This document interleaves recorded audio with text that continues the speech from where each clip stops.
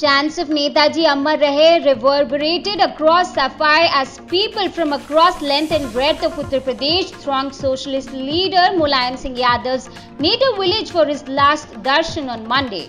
Mr. Yadav died on Monday morning at a private hospital in Gurugram and his body reached Saifai in the evening.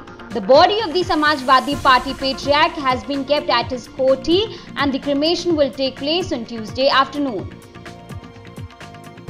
National Investigation Agency on Tuesday carried out raids at multiple locations in Jammu and Kashmir in connection with the terror funding case pertaining to the Jamaat-e-Islami JNK. The raids are carried out in Rajouri, Poonch, Pulwama, Shopian and a few other places across JNK.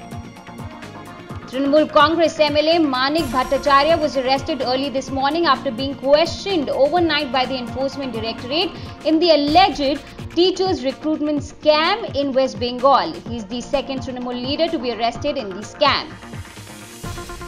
The two factions of the Shiv Sena, led by Uddhav Thackeray and his rival Eknath Shinde, were assigned new names and symbols on Monday for an upcoming by-election. The Election Commission's order stands until it decides on the real Shiv Sena question.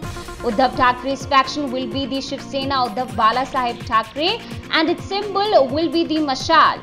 Eknath Shinde's group will be called the Balasahebanchi Shiv Sena. The centre to file its response on the Places of Worship Act after petitions in the Supreme Court challenging the act.